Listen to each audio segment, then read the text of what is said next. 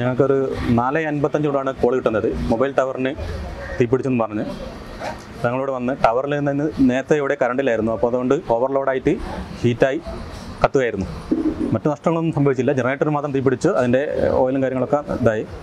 മറ്റേ ഇതിന്റെ ഈ പിന്നെ റൂം ടവറിന്റെ റൂമിന് ഒന്നും പറ്റില്ല അതുകൊണ്ട് വലിയ നാശനഷ്ടങ്ങളൊന്നും ഇല്ല ഞങ്ങൾ ഇവിടെ പിന്നെ അവിടെ നിന്ന് രണ്ട് യൂണിറ്റ് സംഭവത്തിലെത്തിയിരുന്നു